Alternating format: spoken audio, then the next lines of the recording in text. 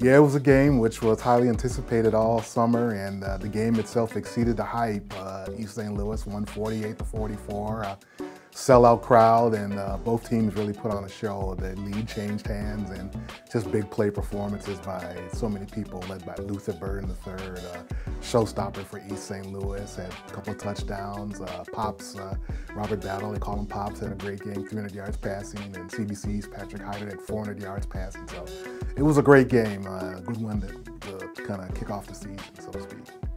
Jeremy Maclin, his first game uh, as Kirkwood High School's head coach, former Kirkwood star. They went across the river and won Belleville uh, West, won it big, and uh, very impressive performance. And uh, I know Jeremy's happy to get that first one under his belt. Has his home opener uh, this Thursday night against Parkway Central. Yeah, the Public High League had a very nice opening to the season. Vashon, a team that's going to make some noise this season, coached by William Franklin, a former Vashon star, played at Mizzou in the NFL as well. They had a big victory over Webster Groves, 27 to nothing. I'm going to see them this week against Vianney High School. And of course, Soldan came from behind to beat Vianney 42-40. They scored twice in the last two minutes, a dramatic rally to win that game. So uh, very impressive uh, performance by the PHL to open the season.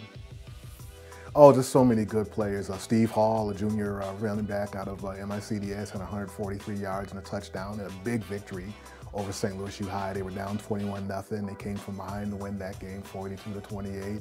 I mentioned uh, Stephen Bonner out of Soldan. They had a big win. He's a good basketball player. He had well over 100 yards and three touchdowns on three long touchdown receptions for that victory as well. So uh, just a lot of good performances uh, on week one of the high school football season. Game I will be at will be Francis Howell will take on Fort Zumwalt North. That game will be uh, in St. Charles, two, probably two top large school programs in St. Charles County. The big one on Saturday night will be East St. Louis will host De Smet.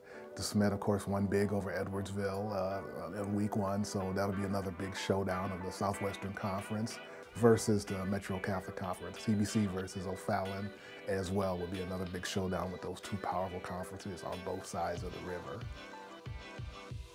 Yes, we do. University of Missouri opens its season up against uh, Central Michigan out of the Mid-American Conference, and Illinois got its season going on the right way with a 30 to 22 win over Nebraska in Big Ten Conference. And a couple of kids from St. Louis did real well on offense. Isaiah Williams, former Trinity High a Catholic star, had uh, six catches and a touchdown.